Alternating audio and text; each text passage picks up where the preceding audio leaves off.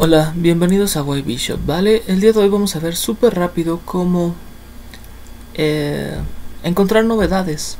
Esto es para jugadores avanzados, ya que si apenas empezaste no vas a ir a, las líneas más actuales. Lo que yo recomiendo a mis estudiantes es que cuando vamos empezando una apertura, tenemos una base de datos, chequemos partidas antiguas, partidas de jugadores fuertes y no tan fuertes. Ya que si tienes 1200 y usas este método, pues la verdad es que no te va a servir de mucho. Vamos a ir primero a esta página, ya jugadores a partir de 1500, 1600, jugadores que ya entendemos la teoría. O sea, podemos hacerlo desde antes, pero pues no es tan recomendable, ¿no? Yo recomiendo ir de acuerdo a la historia de la apertura, o sea, las primeras partidas, ver algunos errores o jugadas típicas, miniaturas y cosas por el estilo.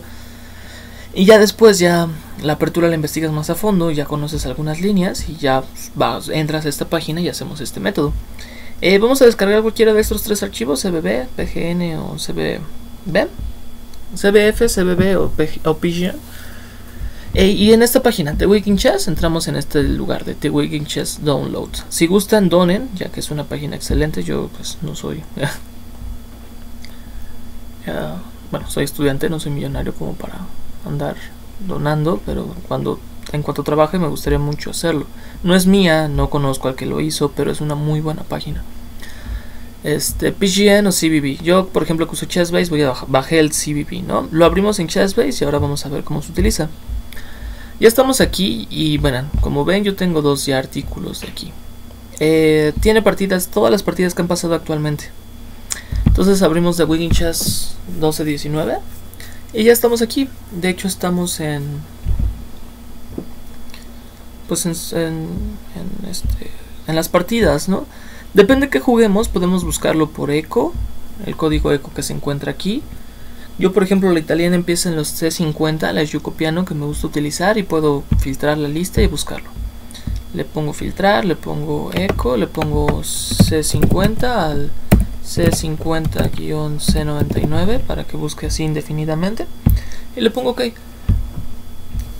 Y ya me aparecieron todos los jugadores, todas las partidas del 2018, como pueden ver, partidas muy actuales que juegan la italiana. Y pues obviamente como me gusta jugar con blancas, pues voy a elegir la mejor partida con blancas, ¿no? Elo blancas y es una victoria de las blancas. Y de hecho abro como las 3, 4 primeras y trato de buscar qué se usa actualmente. Eh, y ya, eso es todo lo que tenemos que hacer. O sea, podemos usar el buscador de Chessbase, podemos usar NSEED y cosas por el estilo. Lo importante es tener el PGN con la página, ¿no? Y también podemos ver partidas actuales, que es también bastante bueno, ¿no? Y... Enroque.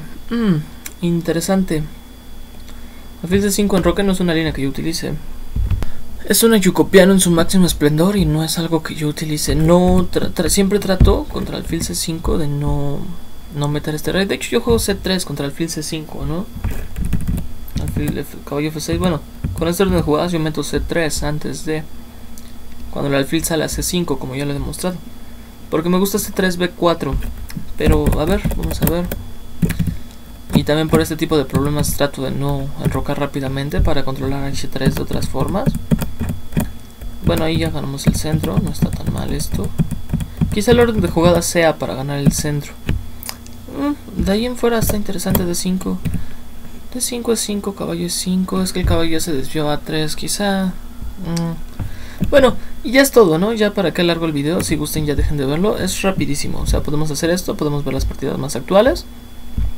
Ya hablan varias partidas y traten de entender por qué los jugadores hacen esto, ¿no? Otra vez. Ah, pero aquí se jugó a 4, tras de 6. Y las negras no han comprometido. Ah, bueno, aquí ya tiene sentido hacer esto con A4. Ganar espacio en el flanco de dama en caso de que tu oponente trate de enrocar rápidamente ahí. Porque no ha comprometido a su rey. Y ya por fin enrocar. Sí tiene sentido, no, no comprometen a H3. Eh, lo que pueden hacer es, o sea, principiantes, lo que yo les recomiendo es checar la historia de la apertura. O sea, eliges una apertura o una defensa, trata de checar las primeras partidas para que entiendas qué estás haciendo y qué pasa. Ya después metes las novedades, obviamente. No empieces con las últimas partidas porque no vas a entender nada jugadores ya avanzados, 1500, 1600, 1700, que todavía no son necesarias las novedades, de hecho no se preocupen mucho por la apertura, pero ver partidas actuales también tiene pues una ventaja, ¿no?